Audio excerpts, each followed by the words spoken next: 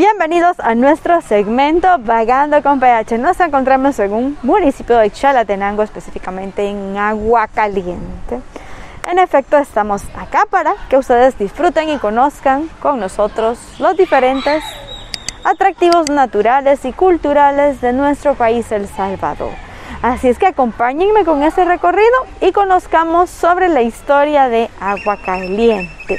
Agua Caliente es un municipio que está limitado, de hecho,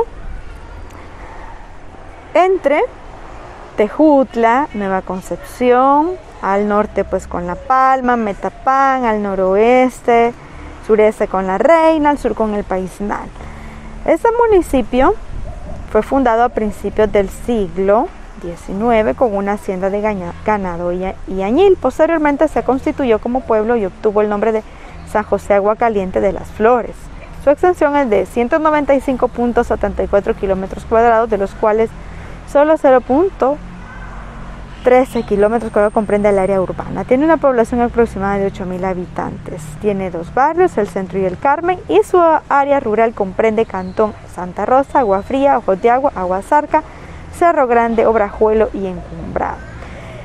La mayor parte de actividad agrícola y ganadera se dedica pues eh, la actividad económica en este municipio y se produce abundante leche y sus derivados.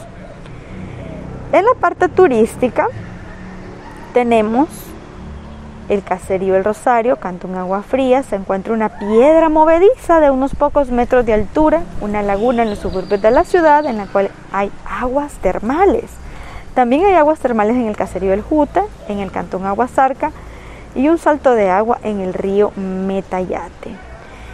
La ciudad posee calles de cemento, puentes y en el centro de la ciudad la bella iglesia parroquial dedicada a San José celebran sus fiestas patronales del 16 al 19 de marzo en honor a San José y la Virgen María y celebran fiestas del 8 de febrero en honor a Santa María de los Ángeles. Para poder llegar a este impresionante municipio, ustedes deben de conducirse por la carretera troncal del norte, por el desvío de Amayo y ahí ustedes se conducen con la respectiva señalética y señalización turística para llegar a este municipio que los invita y los recibe también con los brazos abiertos. Así es que acompáñenme y continuemos con este recorrido.